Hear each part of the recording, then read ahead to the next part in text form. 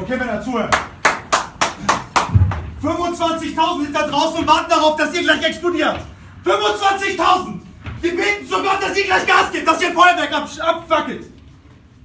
Aber ein Punkt ist mir noch viel, viel wichtiger, Männer. Wenn ihr nach Hause geht, könnt ihr den ganzen Müll bei euren Frauen, bei euren Kindern, bei euren Freundinnen abladen. Alles, alles, was hier passiert, könnt ihr zu Hause abladen. Und die sind immer für euch da. Immer, immer, jeden Tag sind die zu Hause. Und heute sitzt ihr auf der Tribüne und beten genauso zu Gott wie die anderen auch, dass ihr heute ein Feuerwerk abfackelt. Und deswegen ist Katrin drin und nimmt das im Video auf.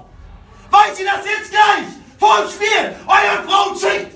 Und ihr müsst mir jetzt ein Versprechen hier leisten, ableisten, dass ihr für eure Familie alles gebt, alles gebt, in den 90 Minuten, für eure Familie, für eure Kinder, werdet ihr jetzt da draußen ackern, von Anfang bis zum Ende. Und wir werden das Spiel gewinnen. Versprecht ihr mir das?